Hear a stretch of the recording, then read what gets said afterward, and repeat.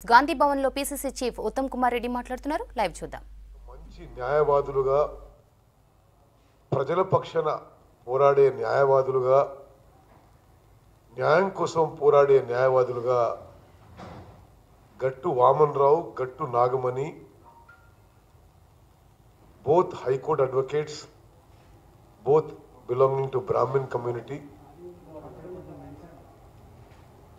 మంత్రిలో court హాజరై హైదరాబాద్ బయలుదేరి వస్తుంటే వాళ్ళ కార్ని రోడ్డు మీద ఆపేసి కత్తులతో పొడిచి అత్యంత కిరాతకంగా చంపడం జరిగింది. మీడియా రిపోర్ట్స్ ప్రకారం గట్టు వామన్ రావు చనిపోయే ముందు అక్కడ స్థానిక టిఆర్ఎస్ పార్టీ మండల పార్టీ అధ్యక్షులతో వీళ్ళే హత్య చేయించారని చెప్పి ఆయన స్టేట్మెంట్ కూడా ఇవ్వడం జరిగింది. ఇది ఎంత దారుణమైన సిచ్యువేషన్ అంటే తెలంగాణ రాష్ట్రం ఏర్పడ్డది మరి సమాజంలో అన్ని వర్గాలకి మేలు జరగాలని దళితులు గిరిజనులు బీసీలు మహిళలు రైతులు రైతు కూలీలు విద్యార్థులు నిరుద్యోగ నిరుద్యోగులు వీళ్ళందరికీ మేలు జరగాలని వారి జీవితాల్లో వెలుగులు నిండాలని అనుకుంటే టిఆర్ఎస్ పార్టీ తెలంగాణ రాష్ట్రం వచ్చింది తాము అక్రమంగా సంపాదించుకోవడానికి. శాండు ల్యాండు మైన్స్ వైన్స్ మరి దోచుకోవడానికే తెలంగాణ రాష్ట్రం వచ్చినట్టుగా బిహేవ్ చేస్తున్నారు. శాండ్ ల్యాండ్ మైన్స్ వైన్స్ ఇప్పుడుగా బరిదగించి హత్యలకు కూడా గురయ్యారు. హత్యలకు కూడా మరి పాల్పడుతున్నారు. అసలు ఈ రాష్ట్రాన్ని చంద్రశేఖరరావు ఏం చేయదలుచుకుంటూ అర్థమైతలేదు.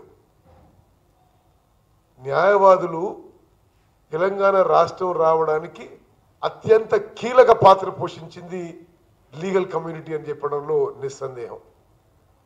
అటువంటి వారు అటువంటి వారు వారి విధులు నిర్వహిస్తుంటేనే మరి టిఆర్ఎస్ పార్టీ వాళ్ళు చంపేస్తే చంపేసిండ్రు.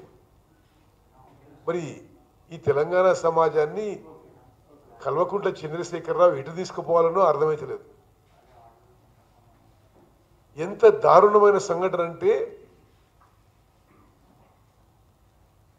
కల్వకుంట్ల చంద్రశేఖరరావు కానీ ఆయన హోమ్ మినిస్టర్ కానీ ఎవరు కూడా కనీసం హత్యని ఖండించలేదు. ఇది సమాజంలో అందరూ గమనించాలి. గట్టు వామన్ రావు గట్టు నాగమణి నేను ముందు చెప్పినట్టుగా వీళ్ళు బ్రాహ్మణ్ కమ్యూనిటీకి చెందిన వాళ్ళు మంచి న్యాయవాదులు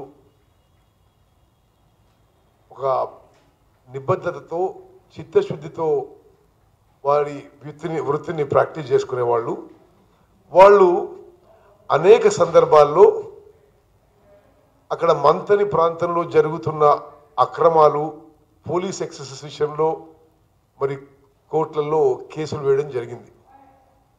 స్పెసిఫిక్గా పోయిన సంవత్సరం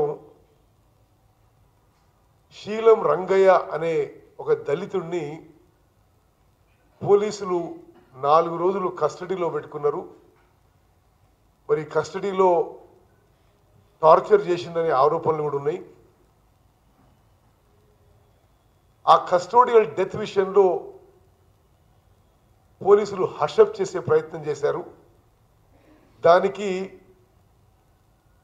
దాంట్లో న్యాయం జరగాలని చెప్పి గట్టు నాగమణి గారు గట్టు వామన్ రావు గారు హైకోర్టులో ఒక లెటర్ పెడితే అప్పటి చీఫ్ జస్టిస్ రాఘవేంద్ర రాఠోర్ గారు విజయసేన్ రెడ్డి గారు దీన్ని పబ్లిక్ ఇంట్రెస్ట్ లిటిగేషన్గా టేకప్ చేసి ముందు తీసుకుపోయారు. హైకోర్టులో ఈ గట్టు దంపతులు ఇచ్చిన వారి స్టేట్మెంట్ మేరకే నేను కొంత చదువుతాను మీరు వినాలి. ఎందుకంటే దిస్ ఇస్ అలార్మింగ్ అంటే మరి ఈ విధంగా కొంతమంది police యూనిఫామ్లో TRS party you know pink shirt వేసుకున్నట్టుగా ప్రవర్తించడం ఇది చాలా స్పష్టంగా అవపడుతుంది. ఇది హైకోర్టు యొక్క ఇది సెవెంత్ ఫిబ్రవరి అనుకుంటా ఇది అయిన ఇయరింగు ఓకే ఇది ఈ శీలం రంగయ్య కేసులో మిస్సెస్ నాగమణి నిన్న హత్య చేయబడ్డ న్యాయవాది informed this court that ever since the said permission to file the counter to the report was given to her, both she and her husband are constantly being harassed by the police force. హైకోర్టులు ఇచ్చారు మమ్మల్ని మేము దళితుడు Seelam Rangaiah police custodial death విషయంలో ఆనాటి మరి ఆ report మీద మేము కౌంటర్ ఫైల్ చేయడం కోర్టు అనుమతిచ్చినప్పుడు ఆనాటి నుంచి ఆమె స్పష్టంగా ఆమె ఇచ్చిన స్టేట్మెంట్ ఇది she and her husband are constantly being harass by the police force దయచేసి ఆలోచన చేయండి. అడ్వకేట్లు హైకోర్టులో కేసు వేస్తే పోలీసులు హరాస్ చేస్తున్నారు. Both and both at Manthani which is their native place and in Hyderabad according to her her husband is being falsely implicated in two FIRs అంటే ఆ దళితుడి custodial death ఆ విషయంలో న్యాయం కావాలని హైకోర్టుకు పోతే అంటే పోలీసులు ఎంత దిగజారినరు? మరి వాళ్ళని ఏ పదజాలం వాడాలో ఆ మంతని ప్రాంతంలో అర్థం కావడం లేదు.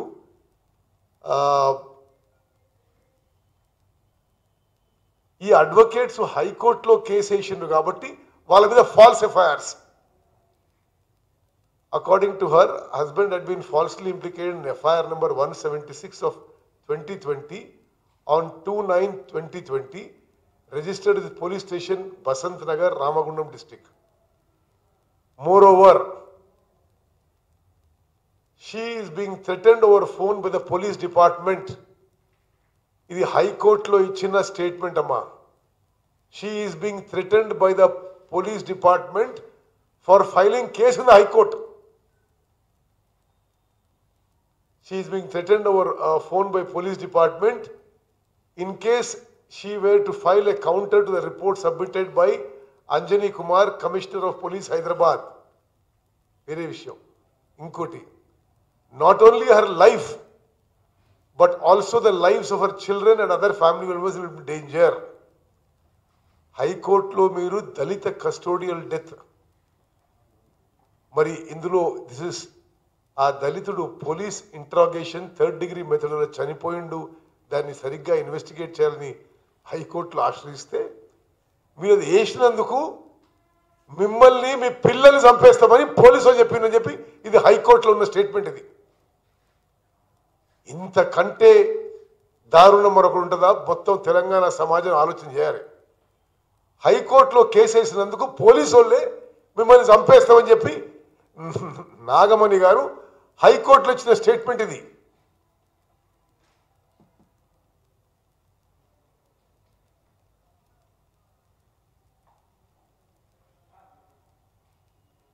Therefore, she seeks both police protection and stringent action again be taken by this court against the police department.